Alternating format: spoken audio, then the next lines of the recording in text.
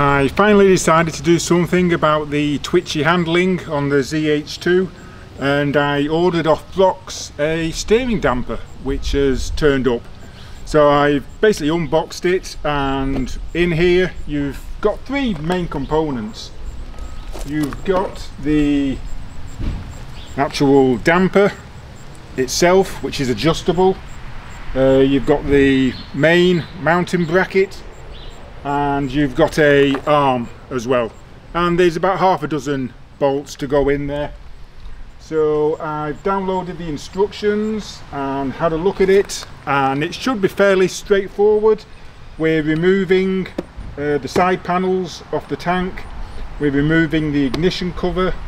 We're removing the meter cover. And we're moving the instrument cluster out of the way. So and then once we've got the uh, ignition cover off that's going to have to be cut. So there is instructions uh, on how to do that and the dimensions. So it's a case of getting the Dremel out for that. So let's get started.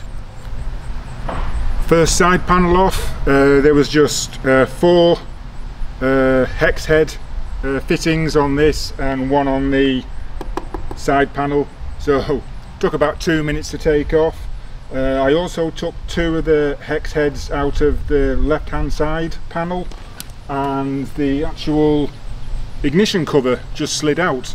So I'm not sure at the moment whether I need to carry on taking this off. I'll see how it goes anyway. So my next thing is to get this cut.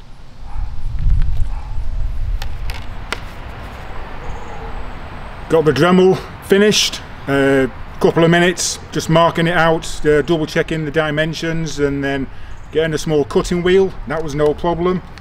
Uh, got the screen off now. That was just uh, the four bolts holding that. So the next thing is just to move the instrument cluster out of the way.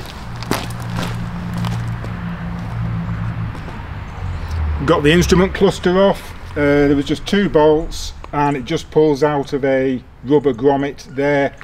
So all we've got left to do now is the two lower handlebar mounting bolts and the two gas tank mounting bolts. So let's get those done. Handlebar lower bolts out gas tank bolts out. Going to the fun stuff now starting to reassemble everything. So the first thing we've got is this brass bush on the fitting and that goes into the bracket and they do supply thread lock which we're going to use. And we're going to get this torqued down as per the instructions with a proper torque wrench to 156 inch pounds. Okay we've got that torque down now and we've got the two hex heads in there and that's just gonna get fitted now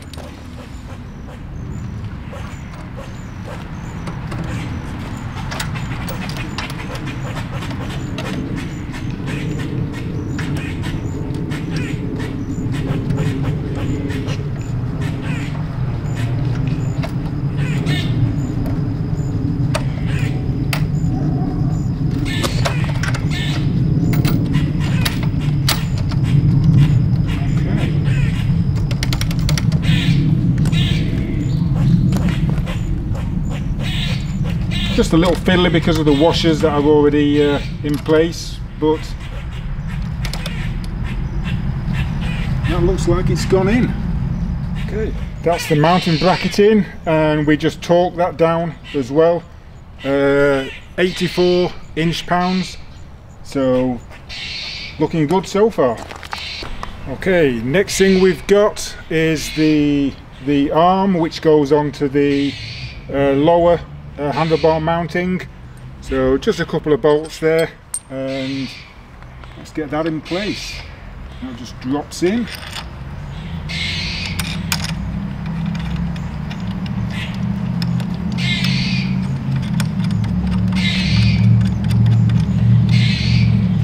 Okay let's get that torqued down. Okay, one thing I did notice there was the torque on these is actually in foot pounds everything else was in inch uh, inch pounds uh, so I had to use a bigger torque wrench so anyway these two were 30 foot pounds so that's in now and we're still looking good Okay, we've just loosened the top hex because we're going to now slide the damper into place. Let's turn the handlebars to do that.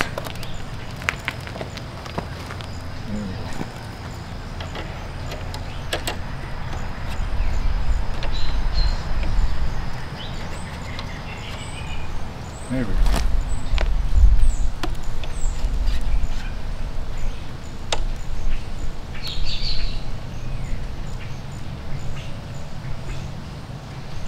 Okay, that slid into place fairly easily. So we'll just need to get our bolt in there uh, with some thread lock on and get that torqued up. Okay, we got that torqued up now and the next thing is just to adjust the gap and get this tightened down and then I think we're putting everything back together again. So this top bolt it does say to put thread lock on so I'm just gonna take that out and just gonna get some thread lock on that put it back in and then we need to just measure the distance and then torque it down. The distance measured from the end of the damper to the, the bracket and that should be 61 mil and now I've got it torqued down so it's just a case now of putting everything back and giving it a test run. I double checked the instructions and realised I've got two washers left. These actually go underneath the instrument cluster before it goes back on. So last, last couple of bits and they just drop in there and then the cluster goes back on everything back together.